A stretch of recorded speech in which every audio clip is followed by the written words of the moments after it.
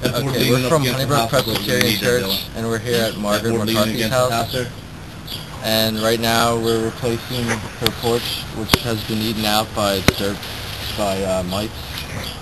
And so far this week we've replaced the back and front porch, and we've cleaned out the basement, which was full of old moldy wood and coal. And we replaced her door out in the front. You take me into the basement?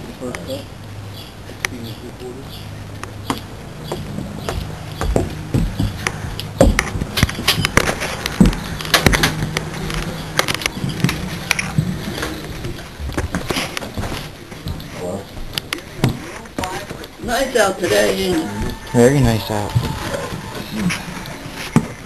Start off, we got a flashlight.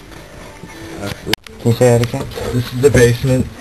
It's very old, full of and and back back in this corner to a, a coal furnace. There's still coal on the ground. Hey, Chris. Chris.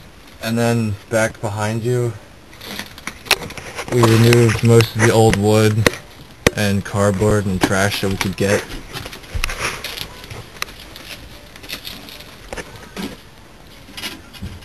Okay.